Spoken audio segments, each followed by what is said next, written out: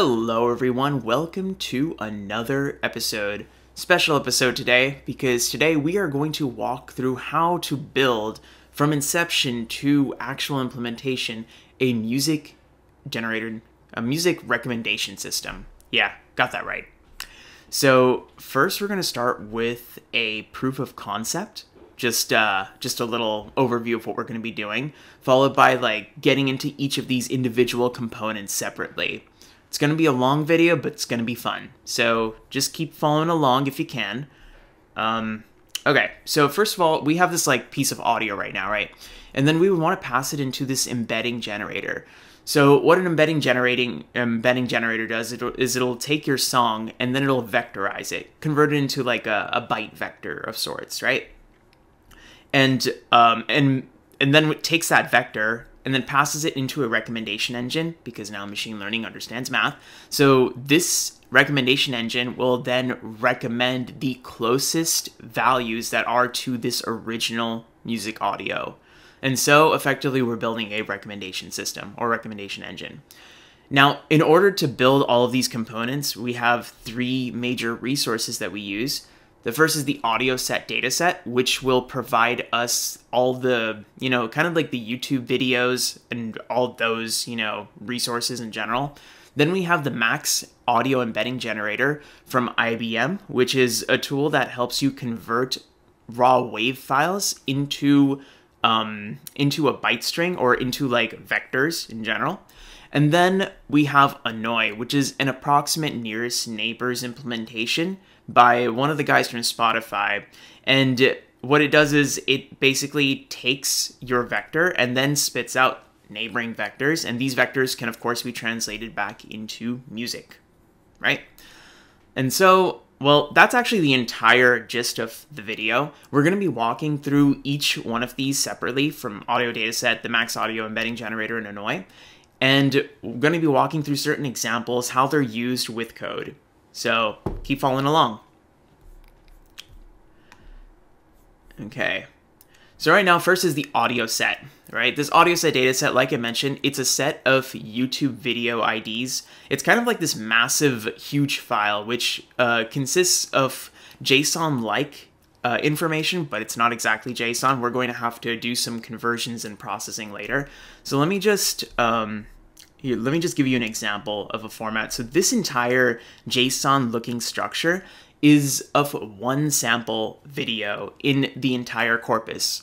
And like this entire sample, they have like, I don't know, 13,000 of them. So let's just start with this, like what does this actually mean, right?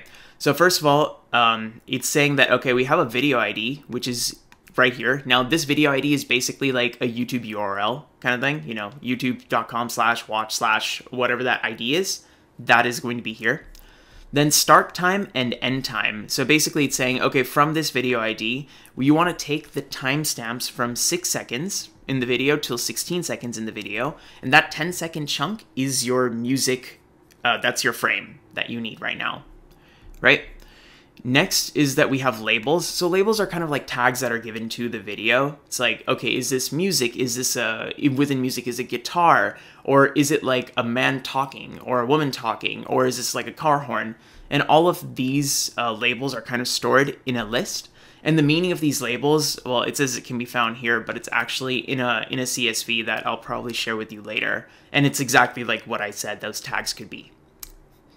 And then we have feature lists, which is basically saying every second of audio or every part of that audio is now encoded into this 128 uh, feature string. So the thing is that, like, let's say that we have like a 10 second piece of audio.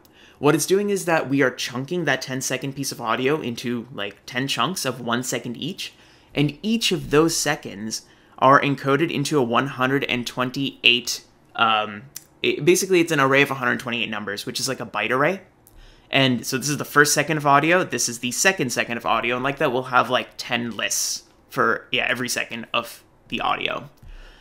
And yeah, this is well, that's actually our entire data set. Like this, it's repeated the maybe 13,000 times. And it's a really big file if you download it. It's like 2.4 gigs, right? You can get this entire data set by clicking on probably the US corpus. Yeah, this link right here and then you just need to double click and extract that, um, just extract it, right? And all of these files are essentially, they are stored, I think I have it here, yeah. So all of that is basically this thing, this audio set v1 embeddings, and they're stored in the form of TF records. So each of these records have exactly, well, this kind of information for like 13,000 examples. And right now, the the thing is that, you know, all of these features are like typically when when you look at music raw wave data, right? Um, they're kind of stored in like you, you you see like CDs for example having 44.1 kilohertz, which is like saying 44,100 numbers are used to they are used to represent like one second of data, right? But you know that's a lot to work with machine learning, and that's why um, the output of this right now, this 128 features, is a lot less, and it also represents the same amount of information. So this is the embedding that we were talking about, right? In the in the video, in the uh, in this proof of concept right here. And these embeddings are actually pre-generated by this Max Audio embedding generator. Um, yeah, and if uh, this, so we don't really need to do any of them. We don't need to do the embedding ourselves. They're already available in this data set. But uh, let me just explain how that embedding generation works. So let me come to this screen. Okay. So this, I'm running, um, basically, a, I built an application, I mean, I didn't build it myself, but like I'm running an application that I cloned from the IBM Max audio embedding generator library. And what they do here is, well, you can basically, let me just show you. So I uploaded a WAV file, right? Oh, this WAV file, for like it's just like a car horn WAV, WAV file, and why am I saving this? It's a car horn WAV file, and what's happening now is if you click like, you know, um, if you click to execute this, it will return a response right here. And the response is the embedding. So like I said, the embedding will be generated for, you know, every second of audio, this entire thing. You see this list of lists, right? This first list until, yeah, until here is 128 numbers of bytes, and that represents one second of the car horn. Like that, this represents the other section, which is the second car, second second of the car horn. This is the third second, and so on. Now, uh, I can I'm going to explain exactly like how you can uh, render this. So if you wanted to, you can see I'm running this on like localhost on port 5000, right? And in order to do exactly this, you just need to go to the IBM's main repository, which is that, yeah, the Max Audio Embedding Generator repository. You clone this repository, and then you follow the steps for running locally right here. So basically, clone the repository, go into their main directory, then you need to have Docker installed, which will help you containerize the it'll build it helps you build containerized applications. So applications that can kind of run on their own with their own dependencies just all in one bundle right? It's a good way to build applications these days. And then you just need to run the model. If you run docker run on port 5000 you will get and then go to your browser and type in localhost 5000 you'll get exactly this page. And you can play around with it just to just to see how you can upload wave files and then see their corresponding results so, hope that is super clear. Right now, okay, so we kind of got an intuition. Let's see, let's go back here. So we know what the audio data set is for. Uh, we know how to actually embed now the audio generating, well, at least we know, you know, using this tool, how to create the embeddings. So now we have a vector, right? But the thing is that like we we don't want to we have like 13,000 of these vectors, right? I mean 13,000 examples. We don't want to just like sit and keep doing it for uh, you know every single one of them. So the audio data set like I mentioned already has the vec they've already used the max audio embedding generator. But this is just for more for your reference to understand what's really going on what the data in the audio set here this represents. So cool? Yeah, we're cool, Professor Halthor. Professor, what? No way. Okay. So now, um, so within IBM, you know, this, uh, I was actually here, right? Uh, sorry if the explanation is jumping all over the place because there's just a lot of files to go through. The idea is just for you to understand what's going on. As long as you do, I'm satisfied. So now you can run the model like this with a fancy UI, but they also gave, you know, you see these this little curl request that um, there's a little curl request if you can see here, right? We can use that to pass in an audio file, like a wave file, via like a terminal command, and then we can get the response too, right? And so what we can do is they have like a demo notebook within this. Let me just open that. I think it's in samples. Internet, yay. And then like there's demo IPy and B, right? So I'm not going to open it here, but I actually have it I have it open over here. Yeah. So that that same notebook that you saw is exactly what I have copied and pasted here, hence all the licensing information is here. And what this will do is it's going to read a WAV file and get the corresponding embeddings, like I just mentioned, but via, you know, a code interface, right? Um, I'm, I'm putting it here because I made a couple of changes just to make sure that the notebook works properly. But let's go through exactly what this notebook is doing. Um, so first of all, you're importing, you know, just a bunch of like system level, uh, you know, libraries, JSON to deal with JSON data, Matplotlib to just plot. We have like a plot of a chart coming up. Um, then like yeah, it's the similarity, uh, cosine similarity again for for uh, getting similarity between two vectors. So cool. Uh, also, glob is used for getting it's it's used for getting like media type assets and fetching them. Kind of like how here we're using to fetch uh, fetch everything in a directory. We're going to fetch the, all the WAV files in demo assets, which was basically all the all the stuff in this repository right here. So all of these WAV files we are going to fetch, right? And if we list out what exactly is being fetched, you see right? So it's like a wave file of a jazz guitar, a wave file of birds chirping, a wave file of gunshots. Yeah. Now, the goal here is to convert these wave files into the embeddings using the Max Audio Embedding Generator. By the way, just to make it clear, you know, an embedding is basically an array that has a representation of the corresponding file that it is coming from, in this case, the wave file. And we just require it so that um, it's like basically essentially a compressed representation that has all the meaning of the data. And because it's more compressed, we can deal with it in machine learning or like, you know, in general, right? With like the nearest neighbor approach, whatever it is that we're going to be using later. All right, so now coming to this little section over here. So what we're doing is like for every single wave file, we're going to execute this curl request, right? What it's going to do is I'm passing the audio wave file and I'm passing it to that URL that we just uh, mentioned, that we just put up right here. Uh, and then what it's going to do is it's going to run the prediction model, which is basically run it through our embedding, that embedding generator. And when it generates an embedding, it's going to output it to a JSON file. Excuse me. Right. And that, yeah, that is basically the, the format of the response that we just shared. Right. Now, uh, this is going to be like, let's say that you just extract the embedding, which is a list of lists where each list within that list is 128 um, characters of bytes. And now what I'm doing is I want the audio length to be cut at 10 seconds. So let's say that we have clips that are, you know, some clips are various lengths, right? But I only want audio clips that are at least 10 seconds. And for those clips, we cut it at 10 seconds so that we have, so we make sure that every single audio clip is the same size. So in this case, um, we're just going to have uh, like every if every single audio is now cut to 10 seconds, every single uh, list of lists. So the list of lists will basically contain 10 lists, and each of those 10 lists will be 128 um, characters for bytes. That's exactly what's happening here, right? And I'm just uh, printing out every single call I'm making. There's like 19 or 20 calls, and I'm encoding every single one of those WAV files that I printed above into an embedding.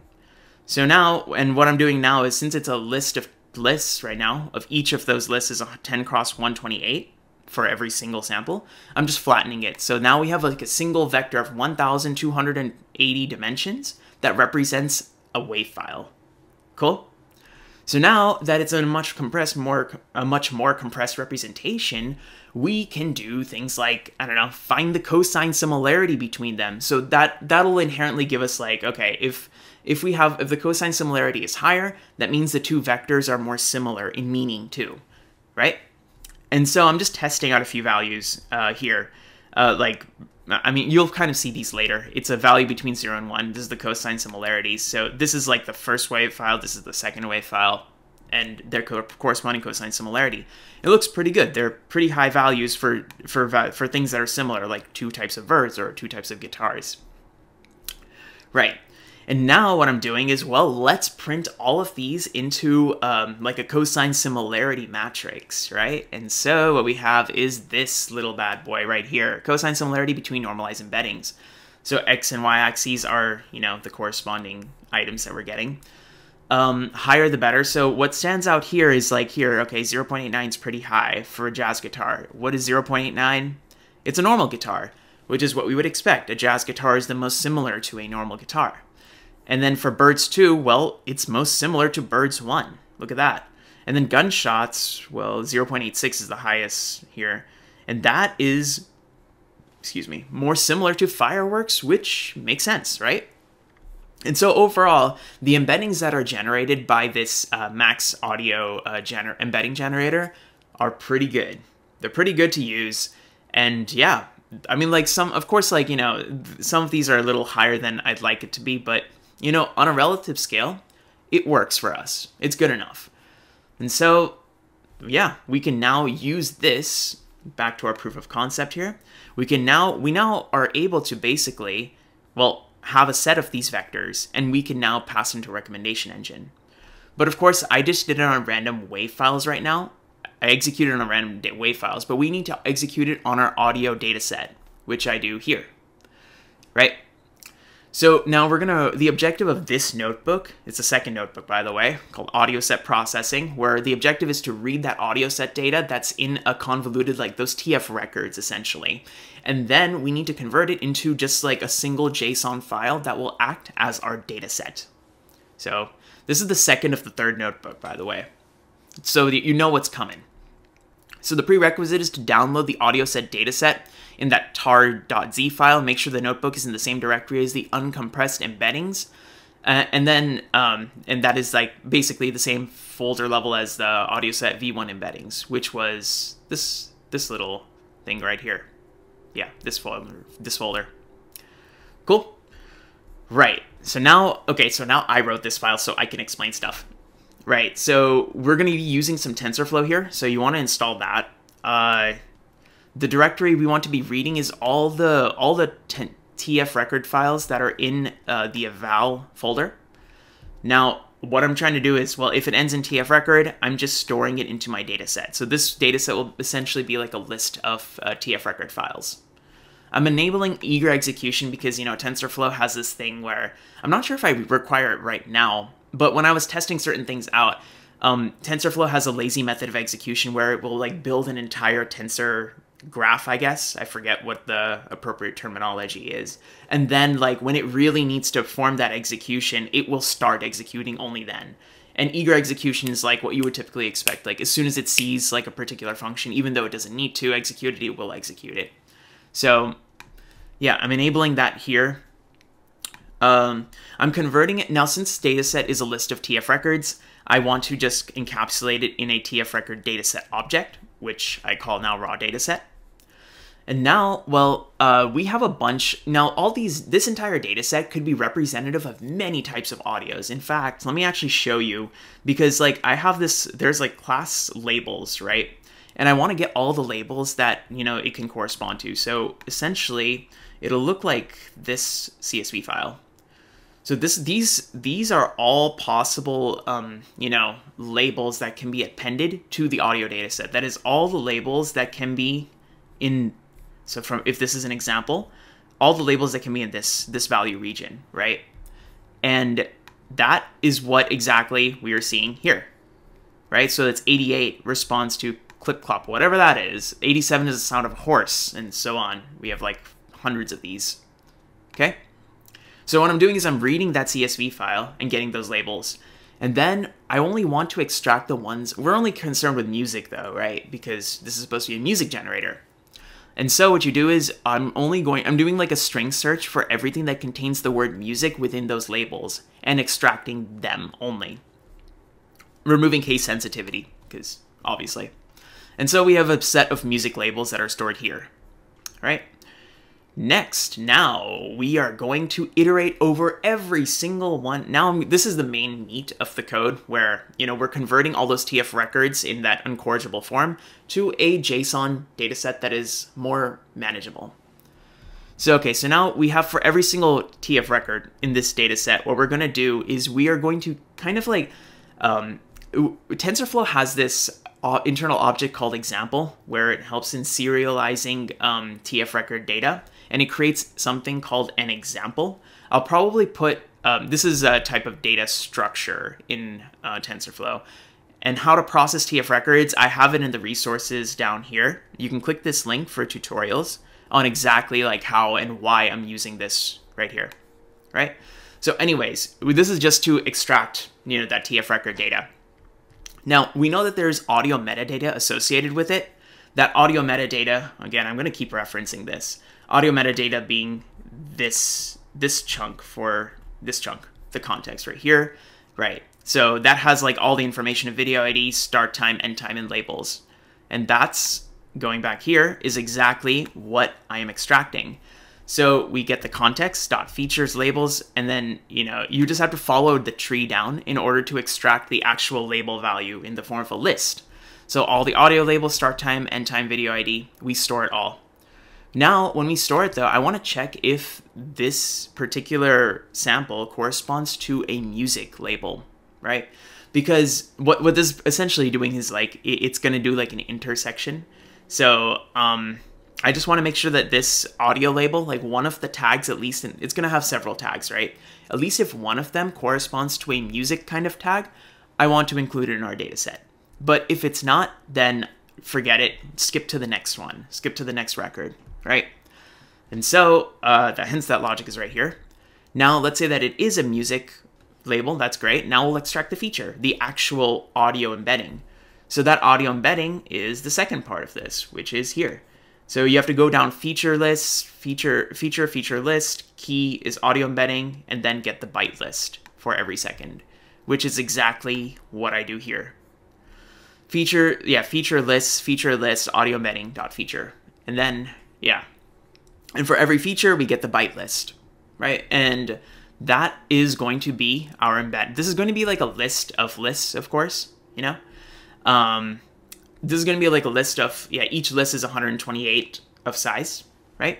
But of course, um, they can be varying lengths because it depends on the length of the audio. Um, but for the audio embedding that we're going to use for our data set, we want to, you know, we want to truncate it to just 10 seconds. Num seconds is 10 seconds. So essentially, we're just going to get the first 10 um, lists in that list of lists, right? And finally, what we're going to do is, well, we are going to see if, yeah, so if obviously the length has to be, um, yeah, that's fine. This is just going to be just to make sure that uh, the if the if we're getting if we're dealing with like shorter audio, you know, like six second audio or three second audio, it's not going to be the uniform across you know the other audio which is clipped at ten. So if it's small audio, we're just going to skip. And then all we're doing is encapsulating it into a little JSON right here. We have the label, the video ID, the start time, the end time, and the audio embedding, which is going to be a list now of, um, this is a flattened list. So it's a list of one of uh, 1,280 numbers, right? Which corresponds to 10 second of audio data. And that is embedded. So very cool. We just append it to our list. I'm just showing a counter just to see the size of our data set and then yeah that's it so we have like around 2000 files that are that are now processed which is great we have like over 2000 records for music to play with now i'm now storing all of this i'm dumping all of this into a json file and this music set json is now our formatted data set that we can now use in our third notebook for generating recommendations and that's coming up next luckily uh, now, you don't actually even have to execute this code at all because I'm going to provide the music set JSON in, uh, I think I'm going to provide it in the repository uh, with the code that's going to be in the description below. It's a huge file. I think it's like 13 megabytes of just raw data, which is cool, right? And I'm just like printing it out just so that you can show, see like, okay, the first 10, this, well, this actually doesn't make sense, but this is like the first, uh, for the first example, only the first 10 uh, numbers of the 1,280 for like four samples of data just to see if it's working. But honestly, you don't really need this. So cool, that worked. And notebook number two is complete, audio processing. Now, before we get into um, this third notebook on uh, Annoy, right? Let me explain exactly how Annoy computes the nearest neighbors with a slide deck right here. So I'm getting this slide deck from the creator of uh, Annoy. I think it's Eric Berne. He used to work at Spotify. During his time at Spotify, he built this Annoy index um, that helps you find approximate nearest neighbors. Why we wanted to use approximate nearest neighbors is that it's much faster than, you know, trying to compute uh, I think like you know it just so much, so much faster than using like you know let's say if you have 10,000 pieces of music in your data set you can't just do a brute force linear scan otherwise it'll take forever right? Annoy is just like hundreds of times faster. And so we are going to use an approximate nearest neighbor algorithm to get you know pretty good recommendations. So this ex this is an excerpt from a 50 minute video that he has on YouTube explaining this entire concept but I'm going to try to distill it down for what we require for this video. So for that, let's get into building the annoy index. So let's say that each of these points, these x's, um, here it's like in a vector space of, this is the embedding space, by the way, generated that max by that max audio embedder. Um, here it's like a two-dimensional space, but let's just imagine that it was like, I don't know, let me open it up. Let's imagine that this was, I don't know, the the what 1280 dimensional space. But for for the sake of understanding, it's a two-dimensional space, right? Now, how to do this is that you just pick any random two points in your embedding, and then you draw you you draw a line between them, and then split that line with a perpendicular line, right? And now we have two separate halves right here. Now what you're going to do is you're going to choose two points in the top in like this region and two points in this region split it by two again randomly. And that's what we do here. And you just keep doing that split, selecting, you know, any random two points per region and performing a split until eventually you get, you know, these small itty bitty box regions, right? So you would think that, okay, well, now this is a partition of, of an embedding space um, that you can also format as a decision tree, right? So the first like node was like all all of them are there. Then the first split would be okay, not a decision tree, more like a binary tree, right? Because let's see if they have this. Yeah. So this would be like, for example, all all your points are in one. When you perform your first split, you you know you have two regions now, and then you perform two splits each time, right? And you keep going down and down and down until eventually you'll end up at these circular leaf nodes, which basically correspond to you know these individual like this individual region of you know points, and these three points are within those leaf nodes, right? So yeah. Now, when you're searching for a point, um, yeah. So now let's say that you want to search for a particular, uh, search for, let's say that now you you want to give your um, this annoy like a vector, right? And you want to find the nearest neighbors itself. So what do you do? So let's say that the the actual point in the embedding space lies somewhere here, right, where this white x is.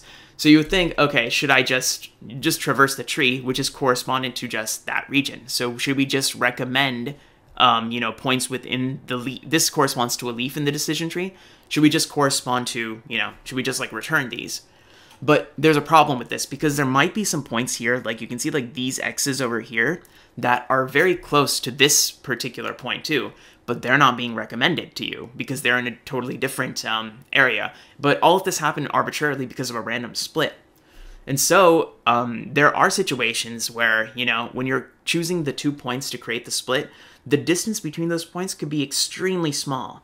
And so if it is small, we want to traverse both sides of the tree. That's what they do here. So let's say that, okay, you have, this is the main thing, you choose to split, you, you then have two regions here, and now our main point actually lies here, right? But the thing is, when we're making the split right over here, let's say that the split is between two points that we're taking by random chance, right? All this happens randomly, is going to be extremely close to each other. It's lower than some threshold. And because of that, okay, because it's lower than some threshold, we want to traverse both of these trees because, you know, that's a kind of where, like, just to make sure that we're getting all of the points that are encapsulating, you know, both regions. So we not only have this region, but we also have like some one, two, three, four, five other regions that could potentially be our nearest neighbors, right? And so if you kind of highlight all of these five regions in the actual space, you get something like this, where we have, you know, all these five regions, and then we have the main region. So basically, what it's saying is that if we pass in something like an embedding, some random piece of music that is at X, this red X, it'll be recommending all the points in this region, right? And that's pretty cool. So yay, cool. We, we were able to do that. Now, the thing with this is that um, the implement implementation wise, so you can, uh, let me look at this. So this entire thing, right?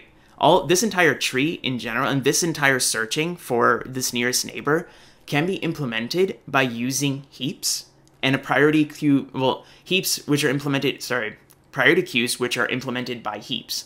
And with priority queues, you have basically a struct where, you know, a weight is given to every single node, right? And you sort it by, well, this this part is a little opaque to me, honestly. So I really do suggest you to watch his video for specifically the implementation of the priority queue.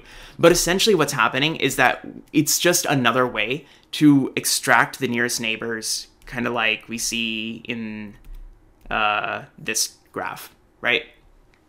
That's it. Now, the thing is that a problem that we're facing here now is that, well, um, so the problem that we're facing here is that this this is formed by just one tree. Like, for example, if this is like the embedding space that we got, it was we get one tree and we have like a set of nearest neighbors. But this is just like one example. And it, it's always better to have multiple trees like this. We can build multiple trees like this so that, you know, that eh, by random chance, you know, we won't be missing certain points. And the more trees we build and we take all of these trees in consideration when making the decision for determining nearest neighbors, it becomes a lot more concrete. So for example, let's say with all the random splits on the same data set, we get this set of points, right, for the nearest neighbors. Red X is like probably our the music that we put in, and then the all the nearest neighbors are within these this purple region. And then with the same set of points, we're going to perform annoy again. We're going to do that random splits, but then this time we get splits over here. And then the last time again, we're going to do it, this is like a third time over here. So because of that, we have like, I don't know, let's say that we wanted to recommend 10 songs per each, for each, right?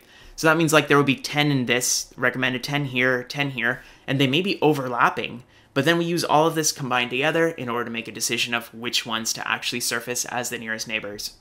So I think that's going to be more clear over here, right? So basically what we do, um, the steps that Annoy takes is that, well, we'll basically um, search all trees until we have k items. So in this k items is like, let's say that we wanted to build a recommender where we input a piece of music and we output 10 recommended items. In that case, let's take k to be 10 items here, right? So every single tree that we construct will output 10 items. So let's say if we do 50 trees, I think in the code you'll see that I do 50 trees. So each of those 50 trees will do 10 items, which means that we have 500 items overall. But now if you take the union and remove duplicates, there's definitely going to be a lot of duplicates because Annoy itself is already pretty, you know, even with one tree, it's going to get pretty good examples, so I wouldn't be surprised if all the other trees, regardless of the random split, would surface similar recommendations. And so let's say from a, a 500 um, I don't know, it distills down to like 500, but like 400 of them are duplicates. It distills down to around 100 points now that we can use. And now, since it's only like 100 points, we can actually compute raw distances for every single one of those 100 points from our um, the query uh, vector, which is the music that we want recommendations for. And it's it's not too bad. So once we do that, then we can sort them in a ranked order of nearest neighbors or the nearest distances. And all of that, I think, is represented visual, visually here. So you have three decision trees, but in our case, we'll have like 50. We find the candidates. Each of the leaves contain like maybe 10 um, examples, 10 pieces of neighbors. Then you get the union of all of these, so which would probably be like 100, like I mentioned before, removing all the duplicates. You find the nearest neighbors for all of those 100 from the query point, which is our vector that we want the recommendations for. And then we can uh, rank them to find their nearest 100 neighbors or the nearest 10 neighbors or whatever that is, right? And that's it. That is the entire nearest neighbor algorithm with Annoy using finding approximate nearest neighbors. And you'll find that this is blazing fast, right? So with that intuition in mind, and I hope that was a, a, a respectable uh, explanation. You can always watch his video just to get some more context, but I think this is enough for this video, and it's also a 50 minute video, so I'm saving you some time. Now, let's build the recommender with Annoy. Very easy. So first of all, the objective is to get the top 10 recommendations for a piece of input music. So right now, we uh, we need to for this to run this notebook, you need the music.json file from the previous notebook, and then you can run this notebook. But I'll provide it for you. So first install Annoy. Now I need this literal eval because like I'm reading from a JSON file and I want to make sure that all of it is in a JSON structured manner. Uh, you'll see that actually right here when I'm reading the JSON file.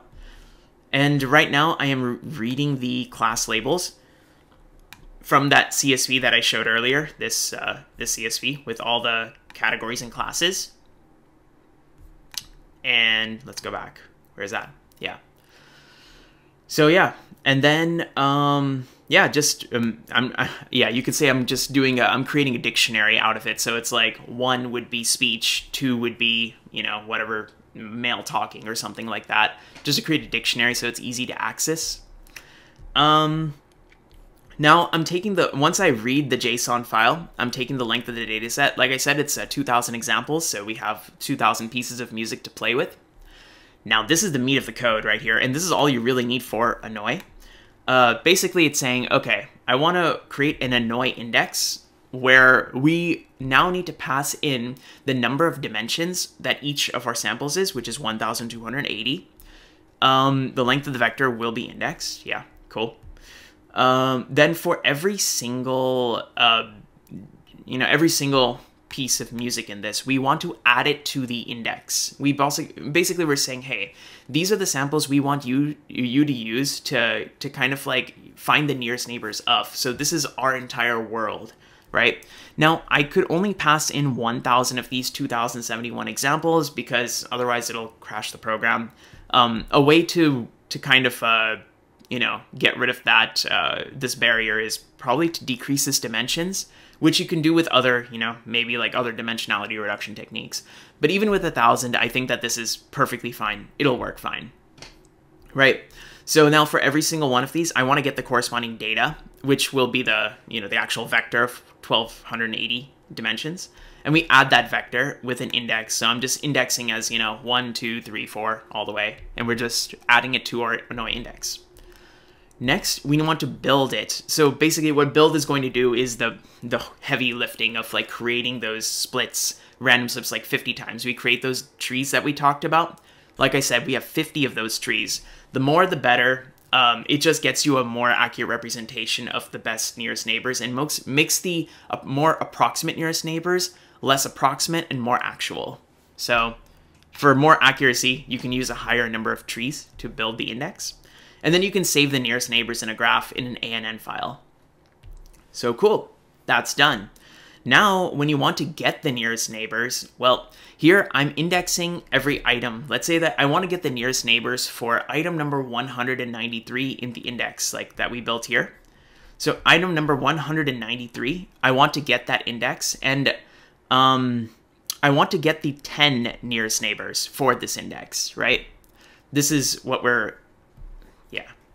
So I want to uh, build an index and get the 10 nearest neighbors for that index. Um, okay, cool, right? And what I'm doing right here now, uh, I know like 193 is like a weird number, but that's why I've also like printed out the entire music data set within that index, like all the 1000 examples, so that you can see exactly like okay, here's the index, and here's the kind of um, the labels that are actually given to it. So you can kind of compare. Okay, 193. That's like, uh, it's opera music. Okay, so opera music. That's just for intuition, so that you can understand, right? And now what we do is now we have this nearest neighbor index for, this will be like the nearest neighbors now stored here. And what I'm doing for every single one of these nearest neighbors, I just want to print it out, right? And that's what I'm doing. So the first nearest neighbor, of course, is the 193, which is obvious because that is the same music that we input to the dataset. So obviously it's the closest because it will overlap. But the second one is this. So it's basically saying, let me explain every single one of these parts. So each part of these nearest, these are the 10 nearest neighbors. Each part is four things in it. This is the index within Annoy internally. This is the set of tags that are given to that piece of music. This is the uh, this is actually the YouTube URL that you can use to Google it, and I'll show you right now actually. And this is the starting and ending timestamps in seconds. So let's look at this first one here, right? XTGMRLO, whatever this is, right? So if you go to that YouTube video, that's right here. I pasted it right here, and we want to start at 30 to 40 seconds, right? 30 seconds to 40 seconds is the clip. So that's this. Let's start. Something like that, right? I'm not playing more because of copyright, but you you kind of heard that, right? Pretty good opera music. And then, um, so that's the input, and that's also the first um, closest neighbor. But the the actual close versus neighbor, which it would have been, is this song, is this one. So it's this video at whatever this K9T thing is at 80 to 90 seconds. So I think that's this video, yeah. K9T, see right here. And then at 80 seconds is a basically a, you know, whatever, 1 minute 20 seconds. So let's play that.